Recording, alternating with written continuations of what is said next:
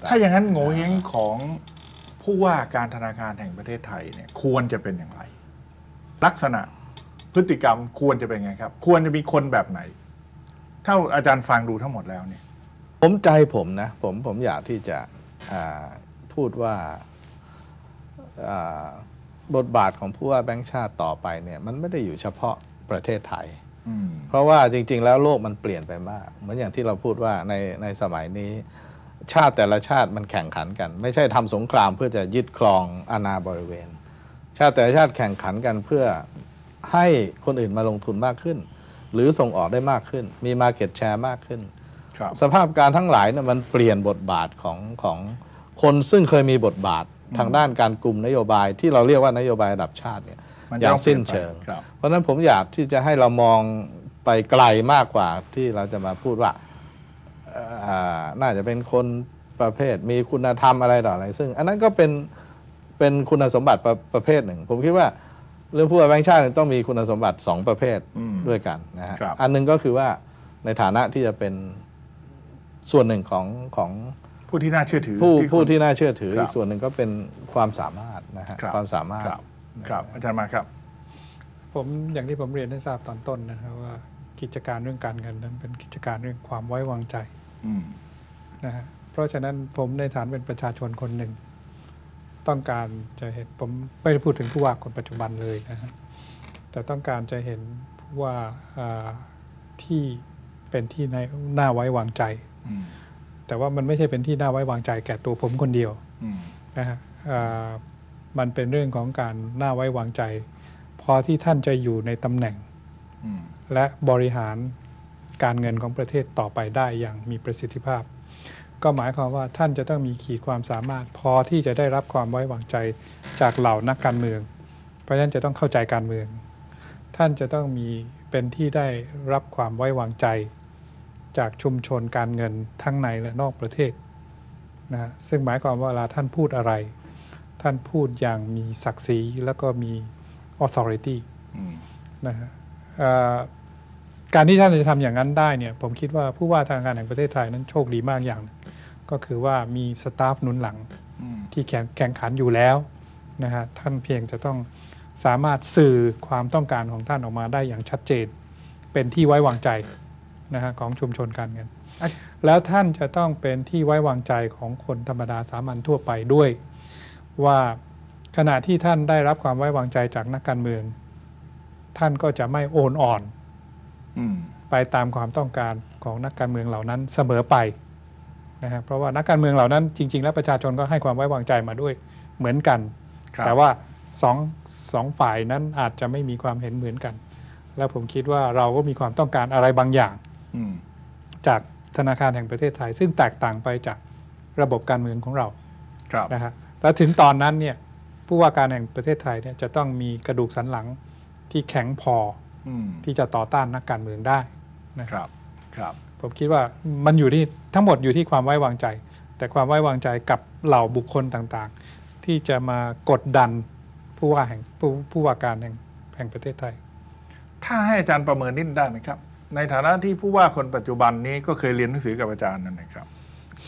คะแนนเต็มสิบนี่อาจารย์ให้เท่าไหร่ครับ กระดูกสันหลังก็ดีเอ่อออะไรก็ต่ออะไรก็ดีครับ ขอผ่านครับ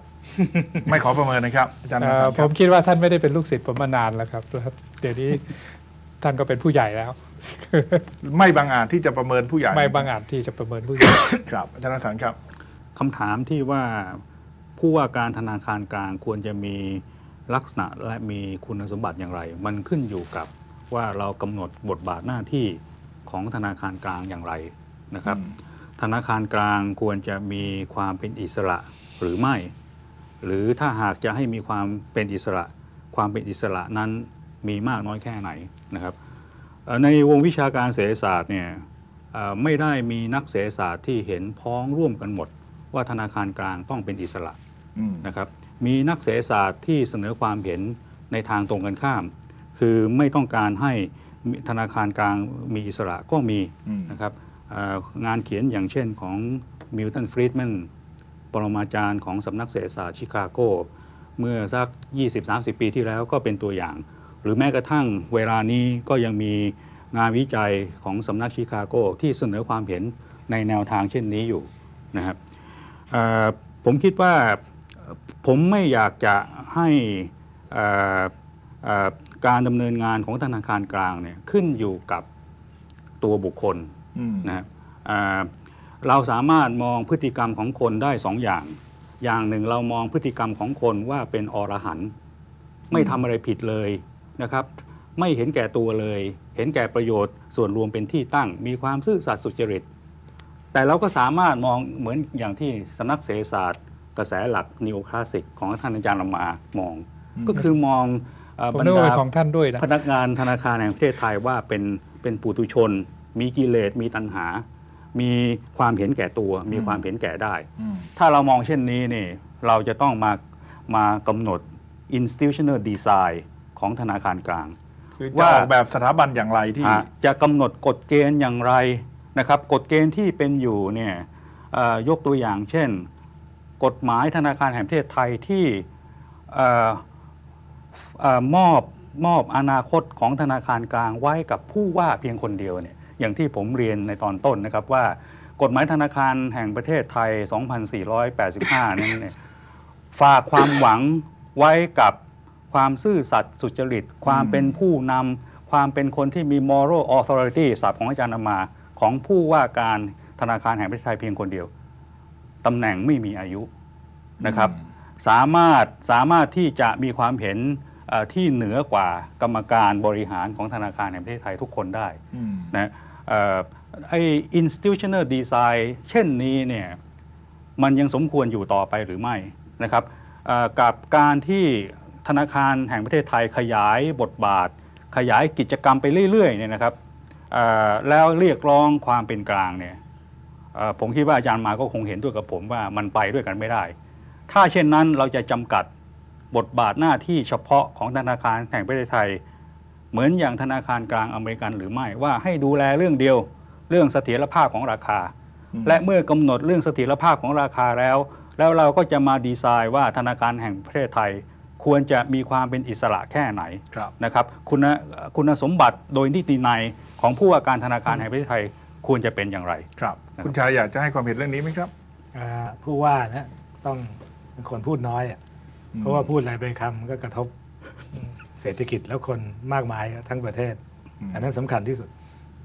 อีกอันหนึ่งที่ผมพูดตั้งแต่ตอนเริ่มรายการว่าต้องทำสิ่งที่ทำอะไรเนี่ยก็ต้องใช้วิธีที่ประชาชนยอมรับ จะมุ่งผลสำเร็จอย่างเดียวไม่ได้นะบอกก็ทำสำเร็จแล้วไม่มีใครยอมรับอะไรพวกนี้ ในที่สุดในระยะยาวแล้วผมว่าไม่เกิดประโยชน์ต่อตัวของผู้ว่าหรือต่อประเทศ เพราะว่าถ้าประเทศได้ผู้ว่าที่ดีนะ พูดน้อยคิดมาก พูดอะไรคนก็เข้าใจทำอะไรก็ใช้วิธีการ ซึ่ง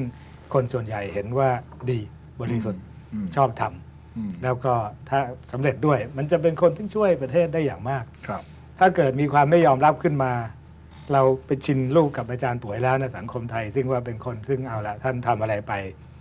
ท่านพอใจแล้วทุกคนพอใจสำเร็จไม่สำเร็จหรือถูกย้ายไปอยู่อังกฤษเลยในวันเดียวอะไรพวกนี้นี่ แต่ว่า ท่านกลับมาประชาชนก็มีความเชื่อมั่นในตัวท่านอืมนะครับพวกนี้เนี่ยผมคิดว่าท่านเรื่องความยอมรับวิธีการที่ทุกคนยอมรับนี่เป็นสิ่งที่สำคัญที่สุดอันหนึ่งในตัวผู้ว่า ถ้างั้นผมไม่ได้ถามแต่เฉพาะตัวผู้ว่านะครับ ตัวคนที่เกี่ยวพันกับนโยบายทางการเงินการคลังทั้งหลาย โดยเฉพาะที่เข้าไปอยู่ในกรตในตลาดหลักทรัพครัย์บทั้งหลายนั้นเนี่ยสมควรหรือไม่ครับที่จะเล่นหุ้นได้อ่า ขึ้นกับว่าฐานะคืออะไรนะฮะอย่าเล่นหุ้นอย่างไหนอะไรยังไง ในหลักแล้ว ผมคิดว่าพอเป็นคนที่จะต้องพิจารณาพวกนี้โดยตรงเนี่ยนะก็คิดว่าอย่าเล่นมีก็ขายซะให้หมดนะเพราะว่าอืมมันก็เดี๋ยวเดียวสองสามปีเราก็ไป ดีไม่ดีขายไปหมด ตลาดตกเราก็สบายใจตลาดขึ้นกับช่างมันอย่าคิดอะไรมาก ถ้าอย่างนั้นทำไมไม่ออกกฎเกณฑ์ซะล่ะครับ หรือว่าเราจะปรับปรุงกฎเกณฑ์ซะ ว่าคนที่เป็นกรรมการตลาดหลักทรัพย์เนี่ยเมื่อรู้ข้อมูลข้างในครับเราเอาออกไปบอกคนนอกยังไม่ได้คิดถึงพูดถึงวันเริ่มครับวันเริ่มเนี่ยถ้าเราเขียนบทห้ามไว้เยอะแยะไปหมด ในขณะซึ่งไม่มีความจะเป็นที่วันจะนี้ห้ามวันนี้ในวันนี้พูดถึงวันนี้พูดถึงครับว่ามันทำไมถึงไม่เขียนครับวันเริ่มเราไม่ได้เขียนบทห้ามเอาไว้ เพราะว่าคิดว่าเขียนอะไรบทห้ามกันยาวเยอะแยะไปหมด ในขณะซึ่งปฏิบัติไปก็ไม่ได้มีปัญหาอะไร เพราะว่าตลาดมันไม่ติดอืมนะฮะผมไปเยี่ยมปี 18 โอ้โห ไป 2 ชั่วโมงเขายังเคาะกระดานให้ดูไม่ได้ครับ ไม่รู้จะห้ามรัฐมนตรีคลังมีหุ้นทำไม เพราะว่ามันไม่มีใครซื้อขาย วันนี้ครับ ทีนี้มันก็เริ่มมาจากอันนั้น พอมันเริ่มมีกระบวนการขึ้นมามันก็ค่อย ๆ เป็น ค่อย ๆ ไปโดยที่คนไม่รู้ตัวครับเสร็จแล้วพอมาตอนหลังมันก็ห้ามยาก เพราะว่าคนนู้นรวยคนที่อะไรมันวุ่นกันไปหมดครับออกมาก็จะต้องหาลือคนเยอะแยะนะอย่างที่กระทรวงการคลังเนี่ยแต่ก่อนนี้ก็ผู้แทนกระทรวงการคลังก็ซื้อหุ้นในบริษัทอืมที่ตนเป็นกรรมการได้ครับ ผมพอผมเป็นอธิบดีกรมบัญชีกลาง ผมก็ห้ามอืมให้ประหลัดสั่งไปเป็น ทีแรกเป็นจดหมาย advice ไม่ควร เสร็จแล้วพอมีโอกาสอีกทีก็ออกเป็นระเบียบเลยอืมนะครับว่าไม่ซื้อไม่ได้อืมนี่เฉพาะผู้แทนกระทรวงคคลัลังงที่ซื้อหุ้น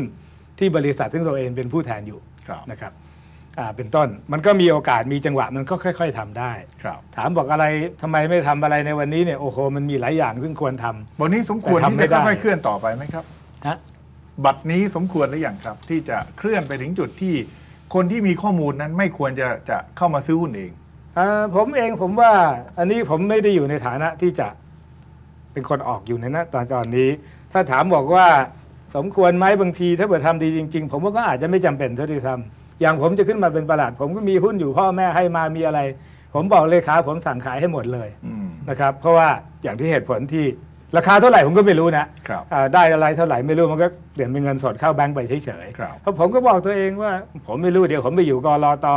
เดี๋ยวใครเอาบริษัทไหนเข้า เดี๋ยวใครเอาบริษัทไหนออกอืมเดี๋ยวใครร้องเรียนอะไร จะเกิดอะไรขึ้นเมื่อไหร่ผมไม่รู้ครับแต่ว่า